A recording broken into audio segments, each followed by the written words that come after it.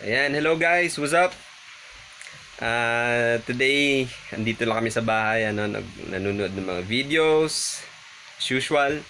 And suddenly, nakita ko yung video na to, na sobrang nakarelate talaga ako, ano, and for sure, makaka-relate din kayo.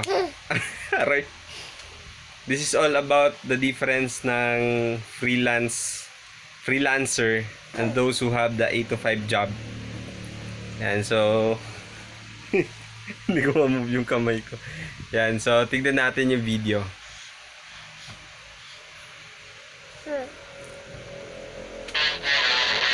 Yan, credits to Brightside. Yan. Yan yung freelance life. And ito naman yung nasa office job. So, yan, ang difference nila yung pagising pala sa umaga, yan, nakaka-relate ka talaga dyan. Pag may office job ka, taranta ka na pag nag-alarm na. Ayan, yung freelance job, ay, relax lang, oh. Pasilip-silip lang sa alarm clock. Parang walang care. Ayan, yung way to work.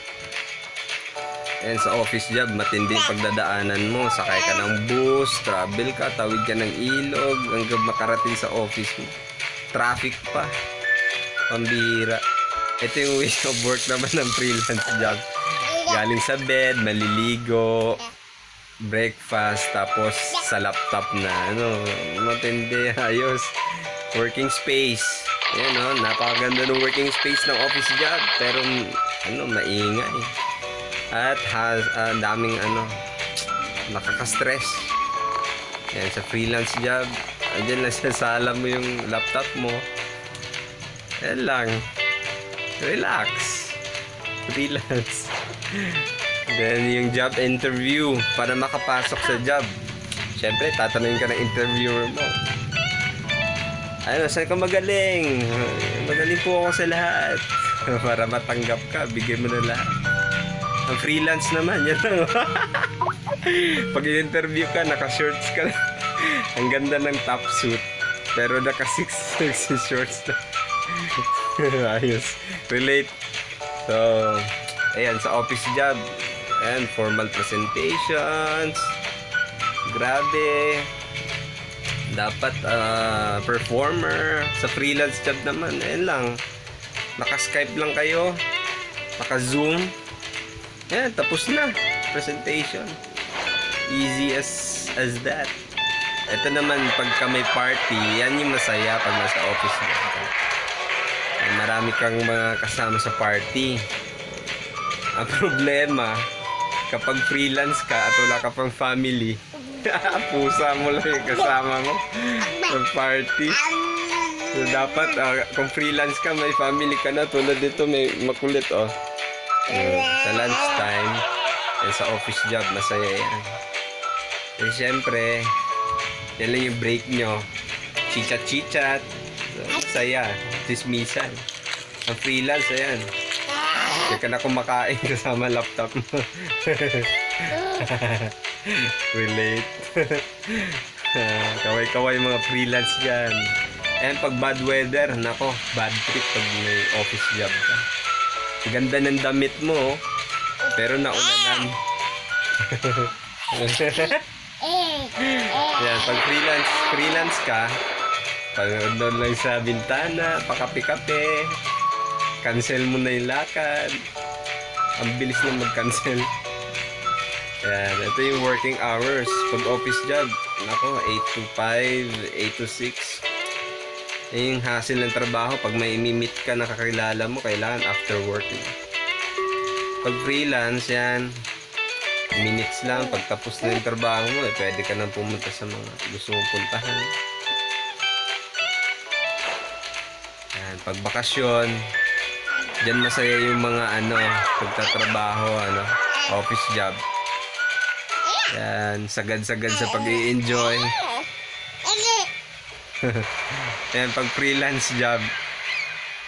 Habang nagbabakasyon, pwede kang nasa laptop pa rin. So, laptop lifestyle. Yan, required job skills. Sa office job, kailangan 5 years experience. Daming language na alam. Ready to work. Kahit weekend. Ayan, hire ka na.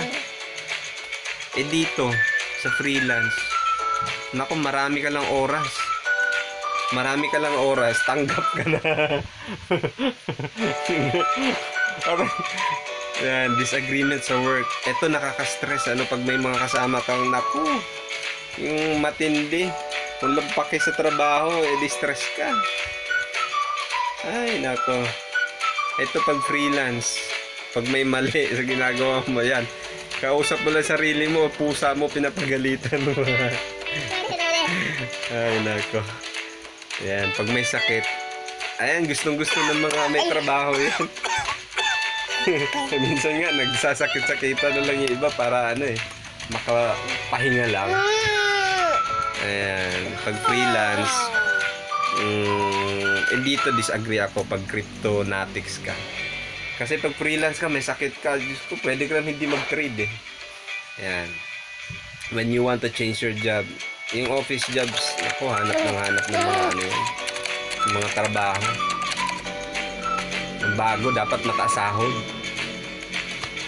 Ayan, pag freelance, Nako, ang hinahanap lang niyan kung saan kikita ng ano, kahit natutulog. Yan, meron ka bang ano dyan, mining, how to earn online, ganun, chicha-cha-cha. ganun lang, ano. So, mm, Hello guys! So, ganun lang kasimple ano, yung buhay na freelance. Ah, hawak mo oras mo at ah, marami kang oras sa family mo. Pero nowadays ha, yung mga nasa office job, malaki na rin yung chance na pwede silang magkaroon ng sideline through online basis. Ano. So, yan, ang gawin mo lang, tanong-tanong ka lang. Pwedeng may mga makatulong sa'yo, magbigay ng mga opportunities sa'yo. Just open mind lang. Kasi, mas maganda pa rin yung mas marami kang oras sa, sa, sa family mo kaysa sa trabaho mo. Eh, hindi naman sa pagmamaliit ng nasa office job, para mas ma- mas mahal mo pa yung boss mo kaysa sa sa family mo eh kasi parati kang nasa boss mo. So that's all. Actually ano lang naman to eh ah, ah, reaction video. Kakatuwa ah, nakakatuwaan lang ano. So see you guys.